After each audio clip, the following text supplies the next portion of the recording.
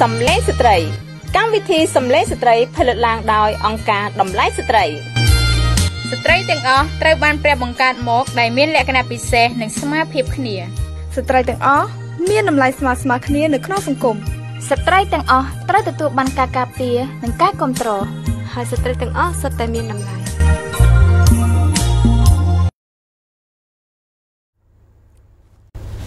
ចាសសូមគោរពនឹងជម្រាបសួរទៅដល់លោកអ្នកបងប្អូនដែលតែងតែតាមដានទស្សនាជាមួយនឹងការផ្សាយផ្ទាល់ចាសពី page អង្គការតម្លៃស្ត្រីដែលយើងធ្វើការចាក់ផ្សាយជារាល់ថ្ងៃសុក្រចាសវេលាម៉ោង11ដល់ម៉ោង12ថ្ងៃត្រង់ចាស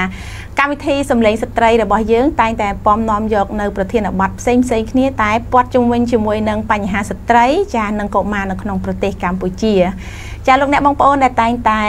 តាមដានស្ដាប់ ជាមួយនឹងកម្មវិធីសម្លេងស្ត្រីរបស់យើង ចាហើយនៅតែបន្តអាចជួយ share ចាឬក៏មានជាមតិយោបល់ក្នុងការចូលរួមចែករំលែកជាមួយនឹងកម្មវិធីរបស់យើងក៏អាចធ្វើការ comment ចូលមកក្នុងការផ្សាយផ្ទាល់ចាឬក៏ទម្លាក់ព័ត៌មានចូលទៅក្នុងប្រអប់សារឬក៏លោកអ្នកបងប្អូនអាចធ្វើការចាទេតាមរយៈលេខទូរស័ព្ទចា016ចា060 73ដើមចា622ចាលោកអ្នកបងប្អូនអាចចូលរួមជាមួយនឹងកម្មវិធីរបស់យើងចាក្នុងពេលឥឡូវនេះតែម្ដងក៏បានដែរចានៅក្នុងសប្តាហ៍នេះផងដែរកម្មវិធីសម្លេងស្ត្រីរបស់យើងនឹងបន្តពិភាក្សាចាទៅលើប្រធានបទដែលពាក់ព័ន្ធជាមួយនឹងស្ត្រីចាប្រធានបទដែលយើងនឹងពិភាក្សានៅក្នុងសប្តាហ៍នេះចាគឺការឲ្យតម្លៃទៅលើស្ត្រីចាការឲ្យតម្លៃទៅលើស្ត្រីគឺលក្ខណៈដូចទូលំទូលាយខ្លាំងមែនតែនចាបានន័យថាគ្រប់ទាំងស្ត្រីទាំងអស់គឺសុទ្ធតែមានតម្លៃចាប៉ុន្តែនៅក្នុងថ្ងៃនេះយើងចង់ច្បិចយកក្រមស្ត្រីមួយក្រមដែលនៅក្នុងសង្គមរបស់យើង តែងតែគិតថាគាត់ មិនមានតម្លៃគិតថាគាត់មិនល្អគិតថាគាត់មិនគួរតែឲ្យតម្លៃ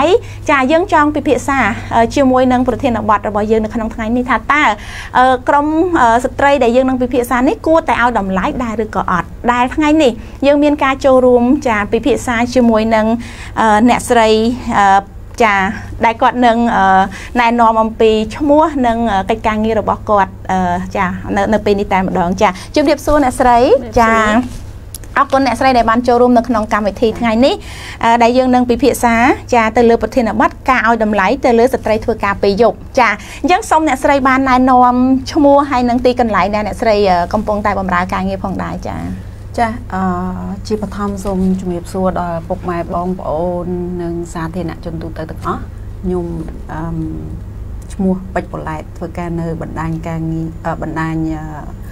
យើងតាមពិតទៅអឺ ខ្ញុំធ្វើនៅបណ្ដាញការងារស្ត្រីរូបរួមគ្នាប៉ុន្តែយើងនៅក្នុងនឹងយើងធ្វើជាមួយនឹងអ្នកប្រកបបផ្លូវភេទចាក៏ដូចជាអ្នកធ្វើការសេវាកំសាន្តនៅក្នុងវិស័យសេវាកំសាន្តដែរចាចា អឺចង់ឲ្យខ្ញុំជំរាបជូនកម្មវិធីឥឡូវចាអ្នកស្រីអរគុណច្រើនអញ្ចឹងអ្នកស្រីពេជ្របុយឡែតគាត់អញ្ជើញមកពីអង្គការបណ្ដាញការងារស្ត្រីរួបរวมចាអញ្ចឹងតើរួបរวมគ្នាចាអញ្ចឹងតើនៅអង្គការរបស់អ្នកស្រីហ្នឹងធ្វើការទៅលើប្រភេទចាគេហៅថាអតិថិជនប្រភេទណាដែរហើយមានលក្ខខណ្ឌយ៉ាងម៉េចដែរអាចជួយណែនាំបានចាចាអឺយើងធ្វើការជាមួយនឹងសហគមន៍របស់យើងដែលមានអ្នកប្រកបបផ្លូវភេទដែល គាត់ធ្វើការទាំងអ្នកប្រកបបផ្លូវភេទដែលនៅក្រោមគ្រឹះស្ថានសេវាកំសាន្តនិងអ្នកប្រកបបផ្លូវភេទឯករាជ្យចាអឺអ្នកប្រកបបផ្លូវភេទឯករាជ្យគឺគាត់ប្រកបការងារនឹងដោយខ្លួនឯងមិនមានម្ចាស់ទេមិនមានអឺថៅកែទេចាចា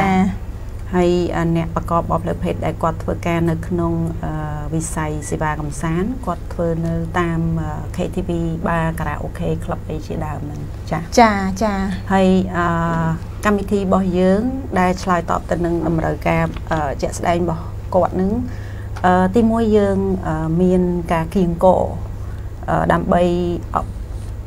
ចែកម្លែក មិនថាអប់រំទេប៉ុន្តែចែកម្លែកផ្សព្វផ្សាយព័ត៌មានផ្សេងផ្សេងតកតងទៅនឹងសិទ្ធិសុខភាពចាហើយយើងមានកម្មវិធីតកតងទៅនឹងការតស៊ូមតិលើផ្នែកច្បាប់ច្បាប់ណាដែលប៉ះពាល់ទៅដល់សិទ្ធិរបស់ពួកគាត់ដូចជាខ្ញុំហៅកាត់ខ្លីច្បាប់ជួញដូរជាដើមភូមិឃុំមានសុវត្ថិភាពសម្រាប់ក្នុងសាធារណៈផ្សេងផ្សេងចាអឺមានច្បាប់ផ្សេងផ្សេងទៀតអឺ តែវាច្រើនណាចាបើបានរៀបរាប់អស់ប៉ុន្តែនៅក្នុងនឹងក៏យើងតស៊ូមតិឲ្យទទួលស្គាល់សិទ្ធិអ្នកប្រកបបបផ្លូវភេទដែរបានន័យថាការងារប្រកបបបផ្លូវភេទគឺជាការងារមួយចាចាហើយអឺក៏យើងមានអឺកម្មវិធីផ្ដល់អឺជាជំនួយសង្គមយើងហៅថាសេវាសង្គមដែលក្នុងហ្នឹងយើងមានអឺអឺផ្ដល់ជូននៅសេវាច្បាប់សេវា ប្រឹក្សាយោបល់បឋម24ម៉ោងចាចាហើយយើងមានអឺចែកជូននៅស្រោមអនាម័យមិនច្រើនប៉ុន្តែអឺតាមលទ្ធភាពដែលយើងអាចធ្វើទៅបានយើងមានសេវាបញ្ជូនទៅមន្ទីរពេទ្យក្នុងករណីគាត់អត់មានលទ្ធភាពអឺអូចាជើញទៅចាហើយក៏ដូចជាតាមរយៈកម្មវិធីសបផ្សាយរបស់យើងចងក្រងរបស់យើងដែរយើងអឺជំរាបជូនគាត់ពីព័ត៌មានទាំងឡាយណាដែលយើងទទួលបានពីអឺ អឺការចូលរួមជាមួយនឹងអ្នកធ្វើច្បាប់គោលនយោបាយតាមក្រសួងស្ថាប័នដែលពាក់ព័ន្ធដូចគ្នាចា៎ជាឧទាហរណ៍កម្មវិធីបានក្រីក្រឬក៏អឺទៅជាមួយអ្នកពាក់ព័ន្ធក្នុងកម្មវិធីតស៊ូមតិរបស់ពួកយើងក៏យើងអឺចូលរួមចំណែកនៅក្នុងការផ្ដល់ធាតចូលដើម្បីឲ្យមានការអឺអឺដាក់នៅគោលនយោបាយ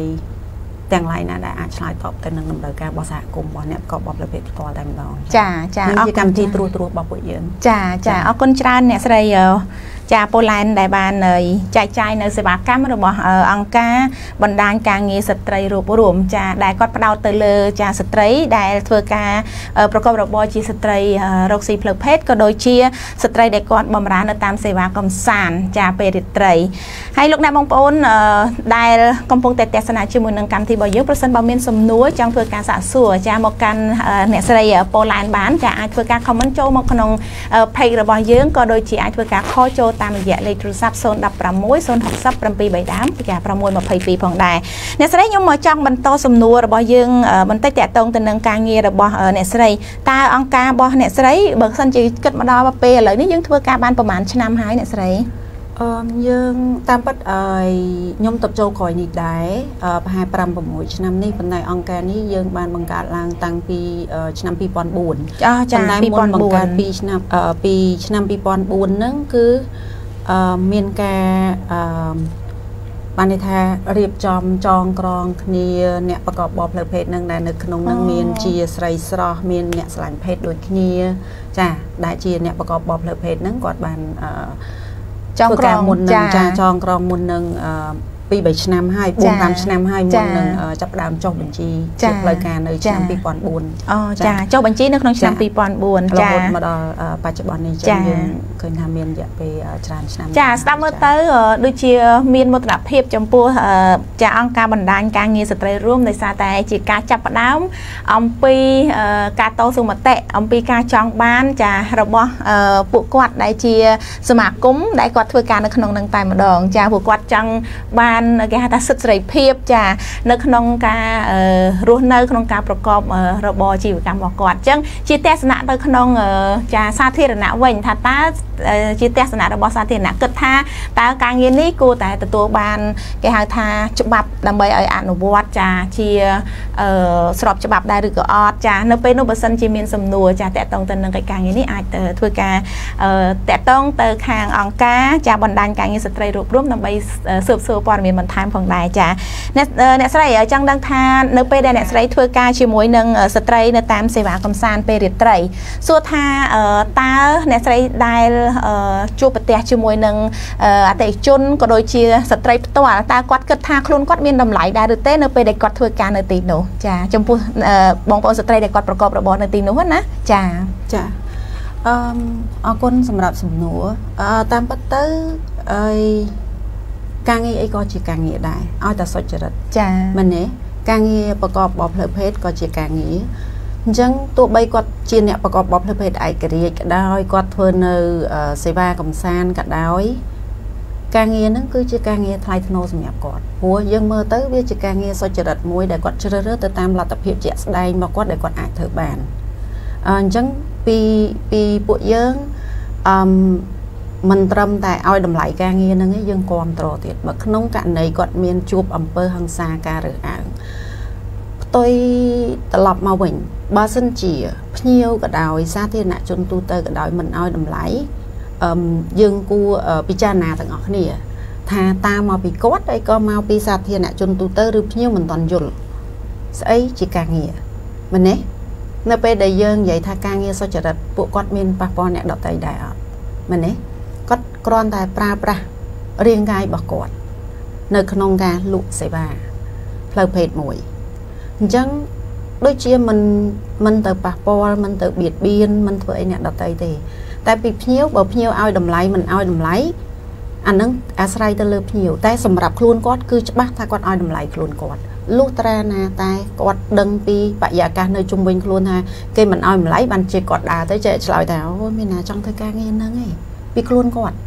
ប៉ុន្តែបើសាកគាត់ដឹងថាអ្នកហ្នឹងដូចជាឧទាហរណ៍ WNU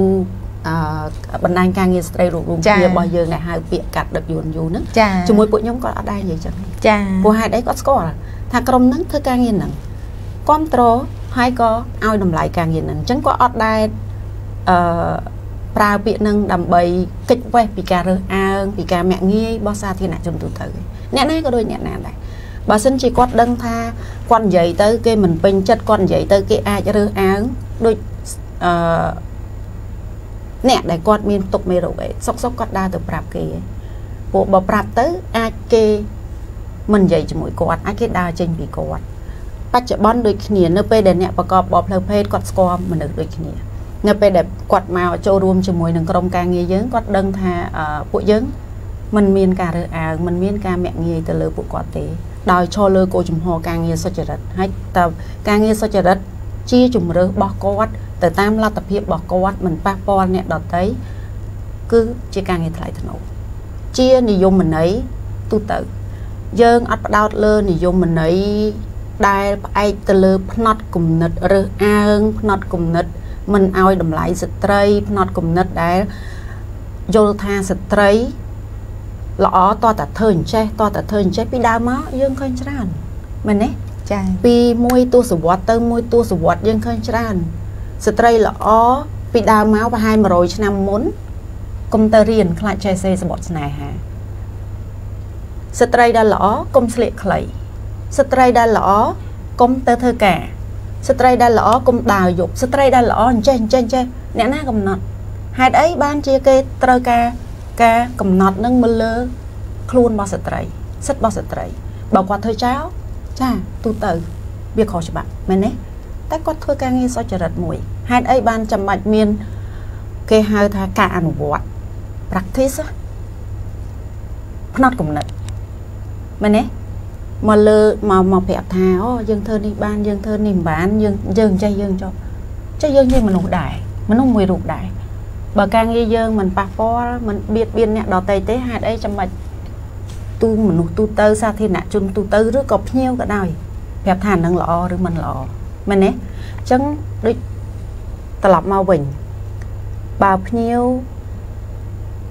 យល់ថាការងារនឹងមានតម្លៃឬមិនមានតម្លៃបើអ្នកយល់ថាមានតម្លៃនឹងគាត់ចាប់ដើមយល់ថានឹងជាសិទ្ធិមនុស្សមែនទេតែបើ បើគាត់យល់ថាការងារនឹងមិនមានតម្លៃប្រហែលជាគាត់អាចអឺពិចារណានៅក្នុងការវិភាគបន្តថាហេតុអីបានជាគាត់មិនឲ្យតម្លៃការងារហ្នឹងទាំងគាត់ជាអ្នកទៅរកសេវាហ្នឹងចាអញ្ចឹងខ្ញុំខ្ញុំគិតថាជាសេវាមួយដែលអ្នកផ្ដល់ឲ្យគាត់ធ្វើដោយស្ម័គ្រចិត្តមែនទេទោះបីស្ថិតក្នុងកត្តាជីវភាព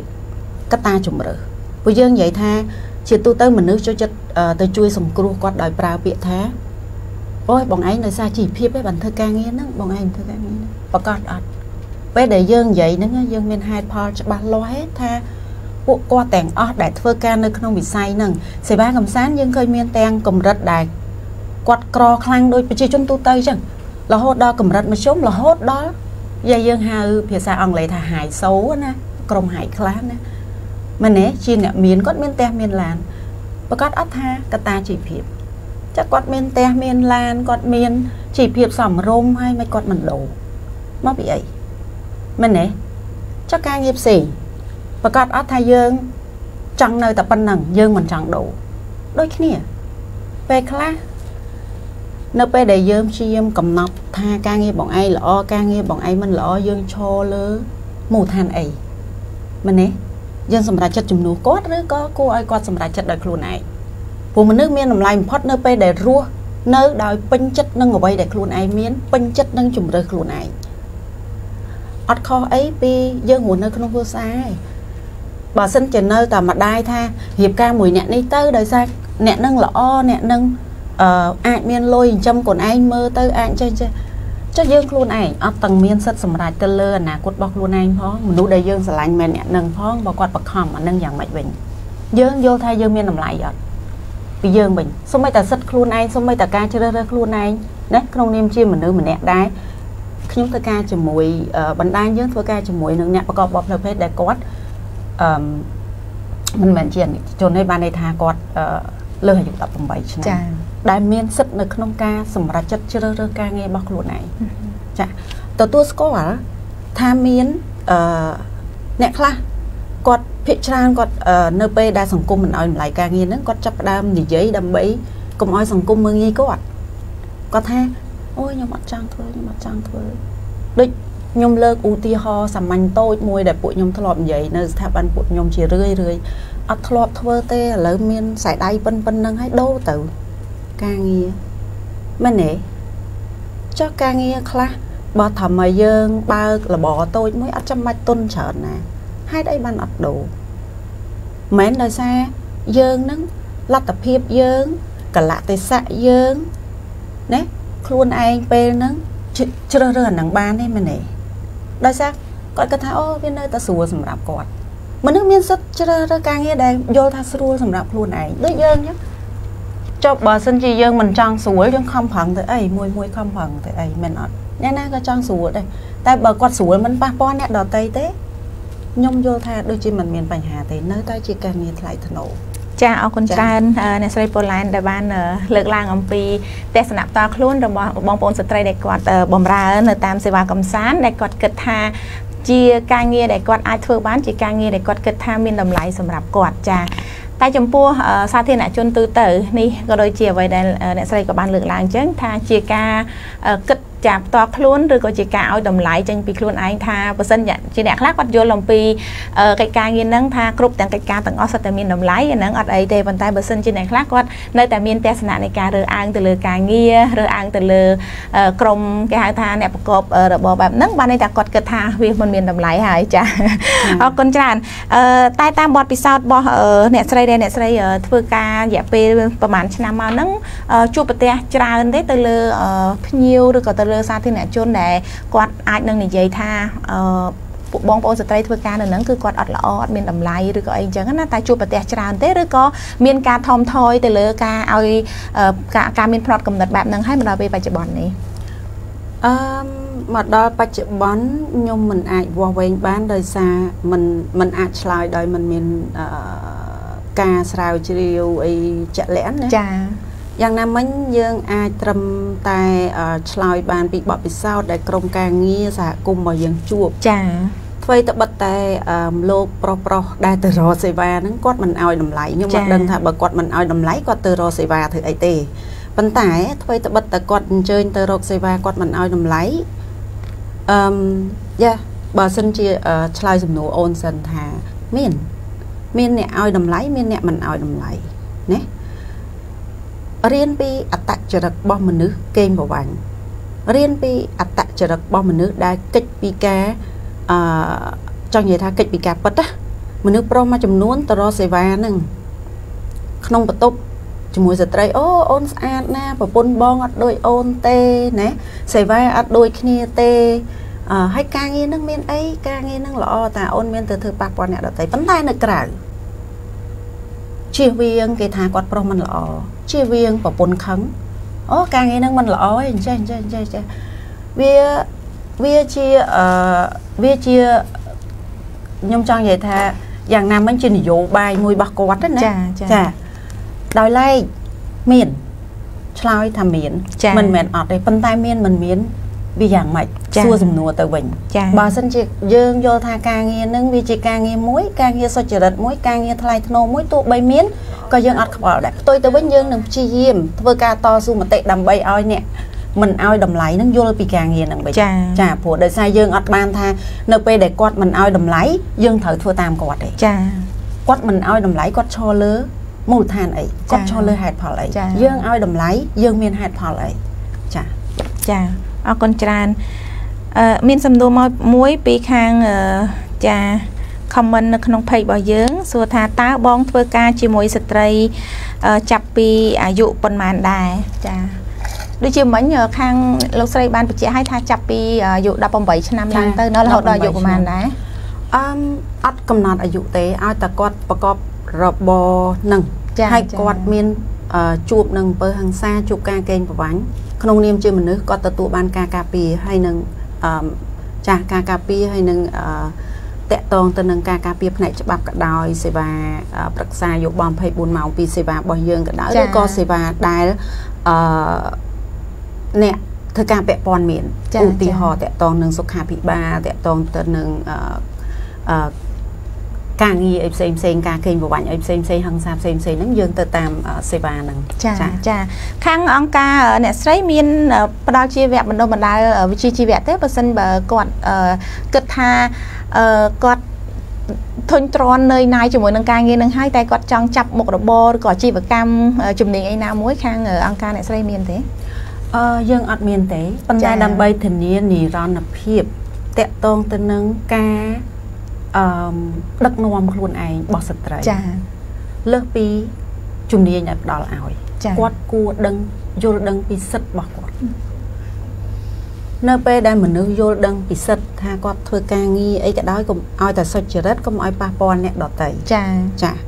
អឺមកន្លែងយើងអត់មានគោលចំហថាអូពួកយើងធ្វើការគ្រប់គ្រងអឺអ្នកប្រកបបបផ្លូវភេទសិទ្ធិអ្នកប្រកបបបផ្លូវភេទផ្ដល់ជំនួយដល់អ្នកប្រកបបបផ្លូវភេទ អឺជំរុញឲ្យមានចំនួនកើនឡើងចា៎តែក៏យើងអត់ខ្វល់ដែរកើនឡើងឬមិនកើនឡើងអត់ជាបញ្ហា បញ្ហាគឺត្រង់ថាគាត់ទទួលបានការការពារហើយឬនៅ ចាហើយនៅពេលដែលគាត់ជួបបញ្ហាគាត់ទៅរកជំនួយឬក៏អឺមតកតងទៅនឹងអឺផ្នែកច្បាប់គាត់ប្រើប្រាស់មានប្រសិទ្ធភាពហើយឬនៅអញ្ចឹងត្រឡប់មកវិញនៅអឺក្នុងន័យនេះយើងមានកម្មវិធីតកតងទៅនឹងការគៀងកការផ្សព្វផ្សាយហ្នឹង គឺយើងធ្វើម៉េចពង្រឹងភាពជាម្ចាស់ការដល់គាត់បានន័យថារបរអីក៏ដោយគាត់ធ្វើទៅសាច់តែគាត់មិនធ្វើការងារប្រកបបបផ្លូវភេទមិនធ្វើការងារយប់មិនធ្វើការងារណាក៏ដោយឬក៏គាត់ចង់ជ្រើសរើសការងារណាក៏ដោយ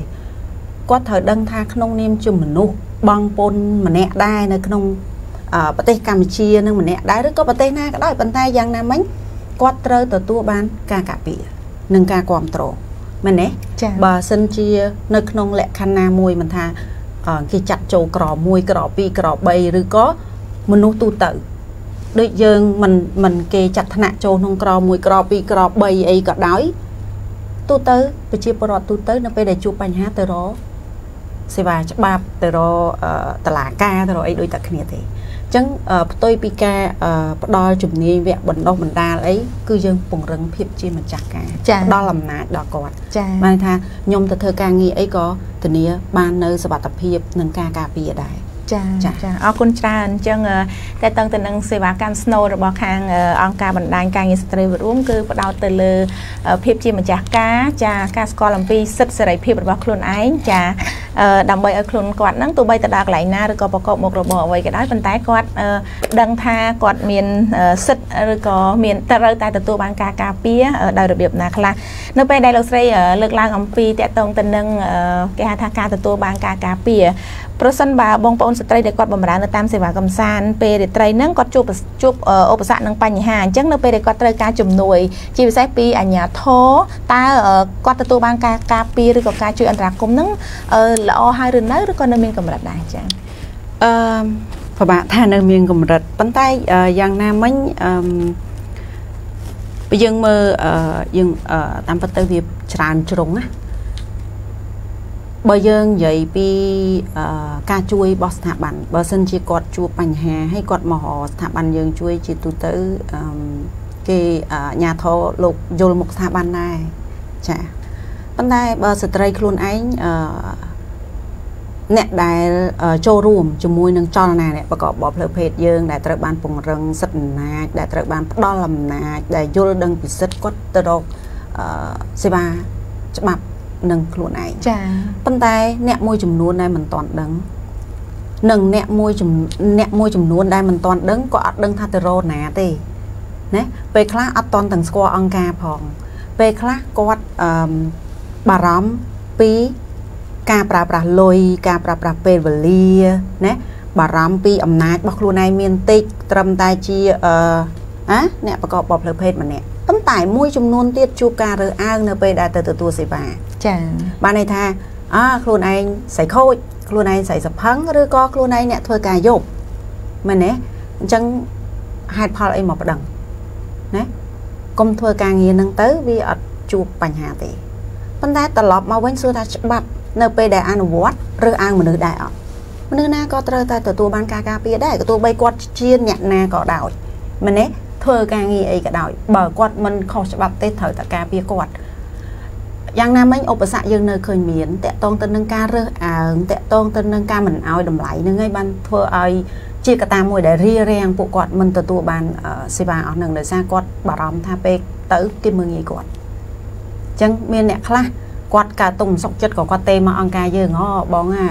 ដាំទៅប្តឹងជាដំណើរការយើងត្រូវធ្វើម៉េចចាប់ពីណាទៅណាឬក៏បងឯងជួយជូនខ្ញុំទៅបានទេប៉ុន្តែសួរថាពួកយើងជួយជូនបានមិនអីទេ តែយ៉ាងណាមិញយើងនៅតែលើកទឹកចិត្តនៅក្នុងការឲ្យគាត់ទៅប្រើប្រាស់សេវាហ្នឹងដោយខ្លួនឯងព្រោះពួកយើងអត់មាននិរន្តរភាពទេនិយាយទៅអង្គការស្ថាប័នយើងប្រើប្រាស់លុយរបស់ម្ចាស់ជំនួយចឹងហើយបានជាយើងជាយពង្រឹងសិទ្ធិអំណាចរបស់គាត់ឲ្យគាត់នឹងរឹងមាំចឹង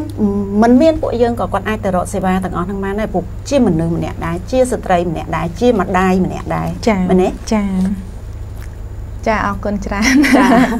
បើបើសិនជាស្ដាប់ពីការបកស្រាយរបស់អ្នកស្រីមកអង្គការបណ្ដាញការងារស្ត្រីលោកបុនហ្នឹងធ្វើការងារបានច្រើនឆ្នាំមកហើយតើមកដល់បច្ចុប្បន្ននេះមានយើងជួយបានស្ត្រីប្រមាណប្រមាណអ្នកដែរមានតួលេខទេអ្នកស្រីអឺយើងមានតួលេខខ្ញុំខ្ញុំអាចជូនជាបហបហែលព្រោះដោយសារតាំងពីមុនខ្ញុំចូលអឺអ្នកដែលគាត់ធ្វើការនៅនឹងមុនហ្នឹងគាត់ ធ្វើបានច្រើនណាហើយអឺអីបើសិនជាបូកទៅយើងឃើញថាចំនួននៃការដែលយើងអឺផ្ដល់ជូននៅអឺមិនមែនយើងយើងអត់ប្រើថាជាវគ្គបណ្ដុះបណ្ដាលអីទេព្រោះយើងក៏មិនមែនជាអ្នកជំនាញអីដែរប៉ុន្តែតកតងទៅនឹងផ្ដល់កន្លែងមានសុវត្ថិភាព នៅក្នុងការចែករំលែកអឺ យើងចែកម្លែកព័ត៌មានថ្មីថ្មីចំណេះដឹងមួយចំនួនតកតងទៅនឹងអឺច្បាប់តកតងទៅនឹងគោលនយោបាយទាំងអឺច្បាប់ដែលច្បាប់ទាំងច្បាប់ចាស់ទាំងច្បាប់ថ្មីអឺយើងគាត់ថាមានចំនួនច្រើននៅក្នុងហ្នឹងបើខ្ញុំឲ្យខ្ញុំបូកពី2020មកពី2004មកដូចជាมันមានខ្ញុំអត់អត់អត់អាចបូកជូនបានប៉ុន្តែរយៈពេលប្រហែលឆ្នាំចុងក្រោយនេះតកតងទៅនឹងការផ្ដល់សេវា ទាហរណ៍ដូចជាការចែកជូននៅស្រោមណាម័យឬគាត់ប្រើប្រាស់សេវាប្រឹក្សាយោបល់24ម៉ោងតកតងទៅនឹងសេវាបញ្ជូនទៅអឺទៅរកមន្ទីរពេទ្យឬក៏ទៅទទួលថ្នាំអីផ្សេងផ្សេងហ្នឹងមួយឆ្នាំមិនក្រោម300នាក់ចាចាចានៅក្នុងហ្នឹងអញ្ចឹងយើងគិតថាអឺការផ្ដល់ជូនរបស់យើងនៅមានកម្រិត ប៉ុន្តែជាលទ្ធភាពដែលយើងអាចធ្វើបាន ជាការបដិញ្ញាចិត្តដែលយើងនឹងបន្តចាចាចាអរគុណច្រើនអញ្ចឹងមានមតិមួយចំនួនលើកឡើងថាបងប្អូនស្ត្រីដែលគាត់បម្រើនៅបម្រើសេវាកម្មនៅពេលរាត្រីគាត់ជួបឧបសគ្គនឹងបញ្ហាមួយដោយសារតែការមិនឲ្យមិនឲ្យតម្លៃហ្នឹងគឺគាត់មិនអាចស្វែងរកដៃគូប្រចាំជីវិតណា ឧទាហរណ៍ថាគាត់មិនអាចមានប្តីមិនអាចមានគ្រួសារបានតើមតិហ្នឹងវាជាការពិតដែរឬទេឬក៏អ្នកស្រីមានមតិយោបល់អីដែរចា៎តដែលអត់ហ៊ាននិយាយថាពិតមិនពិតដោយសារឲ្យតែនិយាយចេះចង់ផ្អែកទៅលើការស្រាវជ្រាវជាបច្ចេកទេសមួយចំនួនណាណាព្រោះដោយសារយើងនិយាយទូទៅភាគច្រើនយើងប្រើថាមតិមួយចំនួនមួយចំនួនតែយើងអត់ដឹងថាប្រមាណទេប៉ុន្តែត្រឡប់មកវិញស្ត្រីទូទៅក៏មិនប្រកាសថារអ្នកស្មោះមួយគាត់បានមែនទេ ក្រុមគាត់ដែលធ្វើការនៅក្នុងវិស័យហ្នឹងគាត់មានដៃគូច្រើន ជាការពិតព្រោះគាត់លក់សេវាផ្លូវភេទអឺគាត់អាចឬមិនអាចអាស្រ័យទៅលើស្ថានភាពរបស់គាត់ជាក់ស្ដែងចា៎ជាស្ត្រីដែលធ្វើការជាមួយជាស្ត្រីដែលចូលរួមនៅក្នុងចលនារបស់ពួកយើងសហគមន៍របស់ពួកយើងគាត់មានស្វាមីដែលស្មោះជាមួយគ្នា តែគាត់លក់សេវាជា គ្រាន់តែជាសេវាគាត់មានអឺមនុស្សប្រុសដែលមិនស្មោះជាមួយគ្នាណាដែលរាប់អានគ្នាមួយពេលមួយពេលអត់ខុសពីប្រជាជនទូទៅទេអឺក៏យើងឃើញមានប្រជាជនទូទៅជាស្ត្រីគាត់មានសង្សារអីចឹងទៅគាត់ពេញមិនពេញចិត្តទៅក៏គាត់មានសង្សារផ្សេងទៅមិនពេញចិត្តទៀតក៏ជាសង្សារផ្សេងទៅសំខាន់ ជាជំរើសរបស់គាត់ជាសិទ្ធិរបស់គាត់គ្រាន់តែថាក្នុងនាមជាមនុស្សគាត់ទទួលបានការការពារតែប៉ុណ្ណឹងការការពារបានន័យថាការការពារនឹងយុត្តិធម៌សង្គមនៃគេដោយឯងហ្នឹងនៅពេលដែលមានបញ្ហាគាត់អាចទៅរកសេវាបានយើងនិយាយថាស្មោះមិនស្មោះបាក់ថាណាព្រោះមនុស្សស្មោះមនុស្សក្នុងនាមជាមនុស្សមិនថាស្រីមិនថាប្រុសទេមកពីស្រីប្រហែលជាអឺនៅពេលដែលគាត់ចង់មានដៃគូផ្សេងឬក៏អឺ ប្តីធ្វើបាបប្តីវាយអីអត់ហ៊ានលែងទេខ្លាចគេថា ស្រីគេស្រីផិតស្រីក្បត់ហើយគិតថាអូទូទៅហើយមនុស្សប្រុសមានដៃគូច្រើនមកពីយើងគិតអញ្ចឹងប៉ុន្តែបើសិនជាការរស់នៅជាមួយគ្នាមិនចុះសម្រងគ្នាទេអត់ចាំបាច់មានហេតុផលត្រូវស្មោះអីម្នាក់នឹងវាយចង់ងាប់ឲ្យស្មោះទៀតទេអត់មានហេតុផលទេណា ចេះរកសេចក្តីសុខឲ្យខ្លួនឯងកុំចាំគេផ្ដល់ក្តីសុខឲ្យយើងមែនទេចាខ្ញុំអត់លើកទឹកចិត្តថាយើងត្រូវមានដៃគូច្រើនទេប៉ុន្តែចេញពីម្នាក់នឹងមិនមានដៃគូក៏ជាជំរើសរបស់យើងដែរมันមានมันมันចាំបាច់មានដៃគូទៅបើគាត់វាយចង់ងាប់ឯហ្នឹងស្មោះឲ្យទៀតមែនទេបើគាត់មានកូនគាត់អត់ជួយចំកូនហងស្មោះឲ្យទៀតតែបើនៅតែស្មោះក៏ជាជំរើសរបស់គាត់ដែរខ្ញុំនៅតែគ្រប់ត្រប៉ុន្តែកុំឲ្យដោយសារតែផ្នត់គំនិត សង្គមសហគមន៍ឬក៏ច្បាប់ណាច្បាប់ស្អីច្បាប់អីហ្នឹងយើងឃើញមានពីមុនអត់ឲ្យយើងសើចលឺផងមែនអត់ហេតុអីគ្រាន់តែខ្ញុំ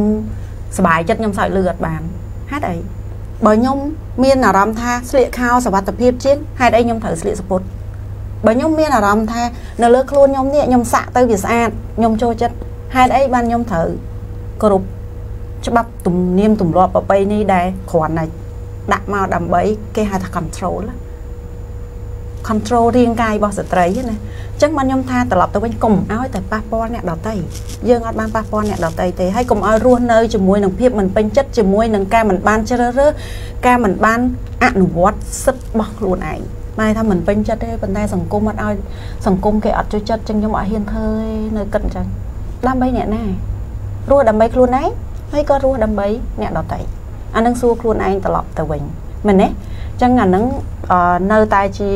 ហេតុផលដែលខ្ញុំបញ្ជាក់ជូនថាវា low សេចបំផុតនៅពេលដែលមនុស្សឲ្យតម្លៃខ្លួនឯងគឺទី1ត្រូវចេះអនុវត្តត្រូវចេះជ្រើសរើសដោយខ្លួនឯងរស់នៅជាមួយនឹងជំរើសខ្លួនឯងពេញចិត្តនឹងជីវិតខ្លួនឯងកុំប្រើជីវិតយើងដើម្បីផ្គប់ចិត្តអ្នកដទៃមែនទេដូចគ្នាការងារប្រកបបបផ្លូវភេទមិនបាច់ផ្គប់ចិត្តអ្នកដទៃគេឲ្យតម្លៃគេមិនឲ្យតម្លៃសំខាន់ខ្ញុំធ្វើការងារសុចរិត មិនប៉ះពាល់អ្នកដទៃអ្នកមិនឲ្យតម្លៃជារឿងរបស់អ្នកមិនឲ្យតម្លៃមែនទេចាអរគុណច្រើនអ្នកស្រីប៉ូឡែនដែលបានចាបកស្រាយជាមួយនឹងសំណួរដែលបានលើកឡើង តើតឹងទៅនឹងសំណួរនេះដែលកម្មវិធីបានលើកឡើងចោតមកសួរនេះសម្រាប់នាងខ្ញុំធ្លាប់ចាធ្វើការជាមួយនឹងស្ត្រីធ្វើការពេលយប់ដែរអញ្ចឹងបទពិសោធន៍មួយដែលនាងខ្ញុំធ្លាប់ជួបប្រទះលឺផ្ទាល់ដោយសារតែកាលនោះខ្ញុំក៏ជាអ្នកប្រឹក្សាយោបល់សម្រាប់ស្ត្រីដែលគាត់ធ្វើការពេលយប់គាត់ ឈប់ធ្វើការក៏ដោយ នៅពេលដែលគាត់ទៅមានមុខរបរសម្រាប់ចិញ្ចឹមជីវិតរបស់គាត់ហើយហើយគាត់ចាប់ផ្ដើមស្គាល់ជាមួយនឹងដៃគូគេហៅថា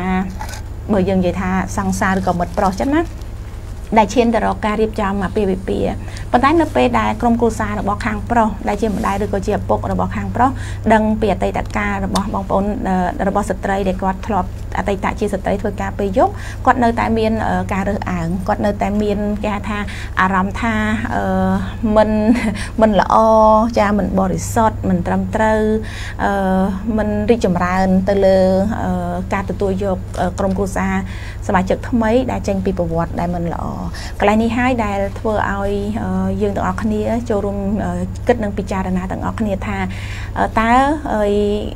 ប្រសិនបើគាត់ជាជំរើសស្ត្រីដែលគាត់ ធ្លាប់ទៅជែកជាមួយខ្ញុំហ្នឹងមិនមែនបានថាជាជំរើសរបស់គាត់ទេដែលគាត់ទៅធ្វើការពេលយប់ឬក៏ទៅប្រកបរបរអីអញ្ចឹងប៉ុន្តែដោយសារតែមានឧបសគ្គនិងបញ្ហានៅក្នុងជីវិតរបស់គាត់គាត់ទៅធ្វើការតែនៅពេលដែលគាត់ដោះស្រាយបញ្ហាជីវិតរបស់គាត់រួចហើយគាត់ក៏ឈប់ធ្វើការងារហ្នឹងគាត់មកប្រកបរបរមួយថ្មីផ្សេងទៀតហើយគាត់ចង់បានក្រុមគ្រួសារមួយដែលកក់ក្ដៅប៉ុន្តែនៅតែជាឧបសគ្គសម្រាប់ជីវិតរបស់គាត់នេះហើយដែលបងប្អូនស្ត្រីធ្វើការពេលយប់មួយចំនួនគាត់កំពុងតែជួបប្រទះនៅពេលដែលគាត់ចង់កសាងក្រុមគ្រួសារមួយដែលកក់ក្ដៅគឺគាត់ពិបាកក្នុងការកសាងក្រុមគ្រួសារអ្នកកក់ក្ដៅចាសូមឲ្យលោកអ្នកបងប្អូនដែលជាសាធារណជនទាំងអស់គ្នានៅពេលដែលស្នាប់ជាមួយនឹងកម្មវិធីសម្លេងស្ត្រីដែលយើងពិភាក្សាទៅលើប្រធានបទចាការឲ្យតម្លៃទៅលើស្ត្រីធ្វើការពេលយប់ជាជាទស្សនៈផ្ទាល់ខ្លួនថាតើយើងចង់ឲ្យតម្លៃទៅលើគាត់នៅក្នុងរបៀបណានៅក្នុងកម្រិតណា ជាការគិតផ្ទាល់ខ្លួនប៉ុន្តែពីកម្មវិធីរបស់យើងយើងគ្រាន់តែចង់អំពាវនាវទៅកាន់លោកអ្នកបងប្អូនថាការ រើសអើងឬក៏ការមិនឲ្យតម្លៃទៅលើជីវិតរបស់ពួកគាត់នោះនឹងធ្វើឲ្យពួកគាត់កាន់តែធ្លាក់ចុះនឹងធ្វើឲ្យជីវិតរបស់ពួកគាត់កាន់តែមើលមិនមើលឃើញអំពីពន្លឺនៅក្នុងជីវិតនិងបាក់ទឹកចិត្តនិងអស់សង្ឃឹមជាច្រើនដូច្នេះដើម្បីយើងជួយសង្គមរបស់យើងមួយឲ្យប្រសើរឡើងគឺយើងទាំងអស់គ្នាត្រូវបានគិតពីភាពវិជ្ជមានទៅកាន់ជីវិតរបស់ពួកគាត់ហើយតើយើងចូលរួមចំណែកអឺយ៉ាងម៉េចខ្លះចាពីបុគ្គលម្នាក់ម្នាក់ពីសាពីសាធារណជន ដើម្បីផ្ដល់តម្លៃនិងឲ្យផ្ដល់តម្លៃនិងគោរពទៅដល់បងប្អូនស្ត្រីដែលគាត់បម្រើនៅតាមសេវាកម្មពេលរាត្រីទាំងអស់គ្នាផងដែរចាពីកម្មវិធីអ្នកស្រីប៉ូឡេតតើអ្នកស្រីមានជាអនុសាសន៍ឬក៏មតិផ្ដាំផ្ញើអ្វីដែរទៅកាន់សាធារណជនចាអឺចាអរគុណច្រើនមែនតើអីដែលខ្ញុំចង់ផ្ដាំផ្ញើទៅសាធារណជនទូទៅក៏ដោយអ្នកធ្វើច្បាប់អ្នកធ្វើគោលនយោបាយអីទាំងអស់ក៏ដោយដោយអូនលើកឡើងអញ្ចឹងនៅពេលដែលអឺ ការងាររបស់គាត់ធ្វើយប់ក៏ដោយធ្វើថ្ងៃក៏ដោយខ្ញុំមិនគិតថាឧទាហរណ៍ស្ត្រីធ្វើការងាររោងចក្រកាត់ដេរពីមុនមក10ឆ្នាំមកក៏គេនៅតែថា10ឆ្នាំមុនណាភាគច្រើនហើយទៅធ្វើធ្វើអីការងាររោងចក្រណាមែនទេឥឡូវហ្នឹងការងាររោងចក្រត្រូវបានរដ្ឋាភិបាលលើកកម្ពស់ទៅក៏ប្រជាពលរដ្ឋគាត់មានការយល់ដឹងច្រើនគាត់លែងសូវរើសអើង មកដល់ឥឡូវទៅជាអូធ្វើទៅអីការងារប្រកបបបផ្លូវភេទការងារអញ្ចេះការងារអញ្ចោះខ្ញុំអត់ដឹងថាយើងមានគំនិតនឹងដើម្បីអីទេប៉ុន្តែយ៉ាងណាមិញនៅពេលដែលយើងមិនឲ្យតម្លៃគាត់ដូចអូននិយាយចឹងវាកាន់តែរុញគាត់ឲ្យជួបទៅជាមួយនឹងហឹង្សាការរើសអើងការកេងប្រវ័ញ្ចព្រោះដោយសារថានៅពេលដែលមនុស្សគាត់មិនត្រូវបានគេឲ្យតម្លៃវាងាយស្រួលអ្នកផ្សេងហ្នឹង យកឱកាសហ្នឹងដើម្បីរឹតតែកេងប្រវ័ញ្ចទៅលើគាត់ណារួមទាំងការប្រើអំពើហិង្សាអញ្ចឹងខ្ញុំគិតថាអឺដូចអូនលើកឡើងថាគាត់ប្រវត្តិមិនល្អខ្ញុំពីខ្ញុំខ្ញុំអត់មានអឺការគិតបែបអញ្ចឹងផងណាខ្ញុំពិភាក្សាជាមួយនឹងម្ដាយឪពុកនៅក្នុងក្រុមគ្រួសាររបស់ខ្ញុំឲ្យគាត់យល់ពីការងារហ្នឹង ហេតុអីបានជាយើងថាគាត់ប្រវត្តិមិនល្អមែនទេយើងជាអ្នកឲ្យតម្លៃយើងជាអ្នកនិយាយឯងល្អមិនល្អប៉ុន្តែឈរលើមូលដ្ឋានអីមែនទេឈរលើមូលដ្ឋានអីយើងថាគាត់ការងារយកការងារអីគាត់រើសអីក៏ដោយទៅតាមលទ្ធភាពទៅតាមតម្រូវការជាក់ស្ដែងរបស់គាត់អ្នកខ្លះគាត់ត្រូវការចិញ្ចឹមគ្រួសារប៉ុន្តែមែនតែនទៅបើខ្ញុំសួរពីជំរើសការងារអ្នកដែលគ្នាទៅធ្វើការងារសំណងគាត់ចង់ធ្វើការងារហ្នឹងអត់ទេដូចគ្នា អ្នកណាក៏ចង់មានការងារប្រសើរជាងអីដែលខ្លួនមានដែរធ្វើអីក៏ដោយគឺចង់ភាសាជាងខ្លួនមានទាំងអស់ប៉ុន្តែដោយសារតែសង្គមមនុស្សភាគច្រើននិយាយថាអូស្រីដែលធ្វើការងារនឹងយកប្តីគេស្រីដែលធ្វើការងារនឹងស្លៀកពាក់មិនល្អធ្វើឲ្យខូចតម្លៃប្រពៃនេះដល់ឬសង្គមអីចឹងទៅមកពីគេនិយាយចឹងអញ្ចឹងនាំនាំគ្នាភាកច្រើនហ្នឹងមិនឲ្យតម្លៃការងារហ្នឹងណាទាំងមិនបានពិចារណាទៅលើជំរឹះរបស់ស្ត្រី សិទ្ធិរបស់ស្ត្រីណាការប្រើប្រាស់រាងកាយរបស់ស្ត្រី ការឲ្យតម្លៃរបស់ស្ត្រីពិតប្រកបនៅទីណាអញ្ចឹងយើងកុំតាឲ្យគេធ្វើការងារយប់ហ្នឹងគេនឹងមិនល្អគេធ្វើការងារអីក៏គេល្អល្អរបស់គេទៅមែនទេគេអត់មានទៅប៉ះពាល់អ្នកណាទេជំរើសរបស់គេណាត កតងទៅនឹងសាធារណជនទូទៅខ្ញុំគិតថាពេលខ្លះមានអ្នកខ្លះក៏គាត់មិនខ្វល់ដែរថាការងារនឹងវាយ៉ាងម៉េចយ៉ាងម៉េចគាត់ណាដឹងថាសង្គមគេមិនឲ្យតម្លៃក៏មិនឲ្យតម្លៃតាមគេទៅណាអឺពីខ្ញុំទៅខ្ញុំនៅតែអំពាវនាវដដែលថានៅពេលដែលយើងឲ្យតម្លៃមិនឲ្យតម្លៃឈរលើមូលដ្ឋានអីហើយប្រៀបធៀបជាមួយនឹងការងារផ្សេងផងអញ្ចឹងណាមែន ដោយសារតែការងារហ្នឹងយើងនិយាយពីផ្លូវភេទទេអីបានជាមនុស្សចេះតែមិនឲ្យតម្លៃព្រោះយើងមើលការងារកម្មកររោងចក្រមើលការងារគ្នាធ្វើសំណង់អីមើលមែនទេការរើសអើងមានគ្រប់កម្រិតតាមដែលគាត់ចង់រើសអើងបានមែនទេអអញ្ចឹងត្រឡប់ទៅវិញអ្នកធ្វើច្បាប់ក៏ដោយអ្នកធ្វើគោលនយោបាយក៏ដោយក៏គួរមើលដែរកុំឲ្យផ្អែកលើមូលដ្ឋានមួយដែលមិនអឺមិនផ្អែកលើមូលដ្ឋានសិទ្ធិនៅក្នុងការជ្រើសរើស ការសម្រេចគ្រាន់តែផ្អែកទៅលើការចង់ control បាទគ្រប់គ្រងលើរាងកាយលើសិទ្ធលើជំរើសរបស់គេណាមិនមែនគេសบายចិត្តទេអ្នកណាក៏ចង់ប្រើប្រាស់សិទ្ធរបស់ខ្លួនឯងណាឲ្យវាពេញលេញណាដោយសេចក្តីថ្លៃថ្នូរដែរអញ្ចឹងខ្ញុំអំពាវនាវដូចគ្នាដោយសារមានច្បាប់ជួញដូរដោយសារមានអឺអឺ social order ណាអា ស្ដាប់ធ្នាប់សាធារណៈណាមានភូមិឃុំមានសវត្ថភាពអីអឺដកចេញទៅច្បាប់អីគោលនយោបាយអីក៏ដោយធ្វើដើម្បីការពារមនុស្សប៉ុន្តែបើវាមិនបានការពារទេក៏គួរពិចារណាសាថ្មីដែរសាធារណជនទូទៅដូចគ្នាមុននឹងរើសអើងពិចារណាផងកុំឲ្យពីដូនតាមកថានឹងអញ្ចឹងអញ្ចឹងដែរសម័យថ្មីហើយសម័យលើហើយណាខុសគ្នា បើមិនអញ្ចឹងស្រីសម័យលើមានចេះសទេ បើសិនជាមិនផ្លាស់ប្ដូរតាមបរិបទណាអឺអឺដូចគ្នា ទៅជាមួយនឹងអ្នកប្រកបបបផ្លូវភេទខ្លួនឯងអ្នកធ្វើការយកខ្លួនឯងដរាបណាខ្លួនឯងមានភាពជាម្ចាស់ការដរាបណាខ្លួនឯងរឹងមាំដរាបណាខ្លួនឯងដឹងពិសិដ្ឋយល់ដឹងពិសិដ្ឋប្រើប្រាស់វាទៅអឺខ្ញុំលើកទឹកចិត្តពីខ្ញុំទៅបើសិនជាយើងធ្វើការងារនឹងក៏មិនបាច់ភ័យដែរ បើសិនជាគេរើសអើងគឺជារឿងរបស់គេគោចំហរបស់យើងជាគោចំហរបស់យើងជំរើសរបស់យើងជាជំរើសរបស់យើងណាយើងអាចទៀមទាបានមែនទេហើយក្រោកឈរដោយខ្លួនឯងកុំកុំចាំបាច់គេប្រាប់ថាការងារនឹងថ្លៃថ្នូរមិនធ្វើការងារនឹងមិនថ្លៃថ្នូរមិនធ្វើគិតខ្លួនឯងទៅថាវាសុចរិតអត់វាប៉ះពាល់អ្នកដតីអត់មែនទេចា អានឹងជាសារចុងក្រោយពីខ្ញុំចាអរគុណច្រើនមែនតើអរគុណច្រើនដល់អ្នកស្រីពេជ្រប៉ូឡែនជាប្រធាននៃអង្គការបណ្ដាញការងារស្ត្រីរួបរวมគ្នាដែលបានចូលរួមចែករំលែកនៅបទពិសោធន៍និងចំណេះដឹងនៅក្នុងកម្មវិធីសម្លេងស្ត្រីនៅក្នុងថ្ងៃនេះដែលយើងពិភាក្សាគ្នាទៅលើប្រធានបទការឲ្យតម្លៃទៅលើស្ត្រីធ្វើការពេលយប់ចា ពីអង្គការតម្លៃស្ត្រីដែលយើងធ្វើការដើម្បីលើកកម្ពស់និងឲ្យតម្លៃចាទៅលើស្ត្រីដែលគាត់បម្រើការងារនៅតាមសេវាកំសាន្តពេលរាត្រី ចាយើងក៏មានសេវាកម្មដើម្បីជួយទៅដល់បងប្អូនស្ត្រីដូចគ្នាផងដែរចាអង្គការតម្លៃស្ត្រីយើងផ្ដល់ជាសេវាកម្មផ្ដល់នៅវគ្គបណ្ដុះបណ្ដាលបំណិនជីវិតចាហើយនឹងវគ្គបណ្ដុះបណ្ដាលជំនាញវិជ្ជាជីវៈទៅតាមចំណងចំណូលចិត្តដែលបងប្អូនស្ត្រីត្រូវការចាហើយបច្ចុប្បន្ននេះចាជំនាញដែលពេញគេហៅថាពេញនិយមចាមានការងារធ្វើច្រើនហ្នឹងគឺ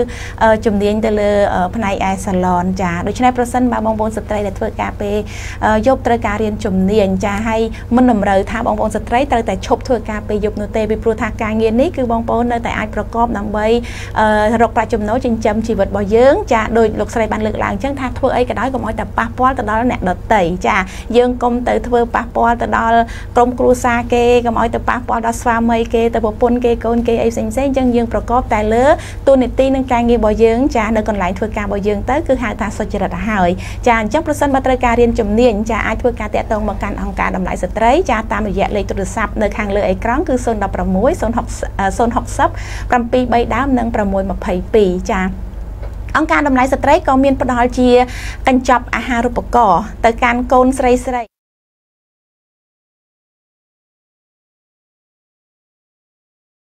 ការកេងប្រវ័ញ្ចការជួញដូរអីផ្សេងផ្សេងហ្នឹងគឺប្រសិនបើកូនស្រីស្រីចាមាន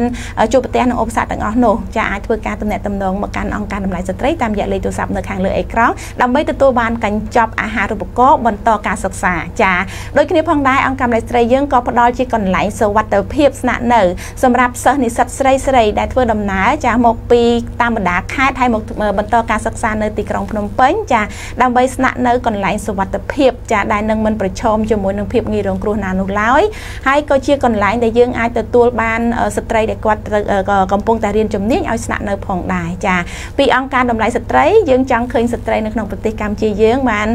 ងើបឈរឡើងចាហើយយើងទទួលបានសិទ្ធិសេរីភាពយើងទទួលបានការឲ្យតម្លៃចាយើងនិយាយទៅរស់នៅដោយចាមានភាពស្មើគ្នានៅក្នុងសង្គមចា អរគុណច្រើនពីកម្មវិធីនៅក្នុងថ្ងៃនេះចាដែលយើងបានពិភាក្សាគ្នាច្រើនចារយៈពេល45នាទីចាដែលយើងបានពិភាក្សាទៅលើប្រធានបទនេះ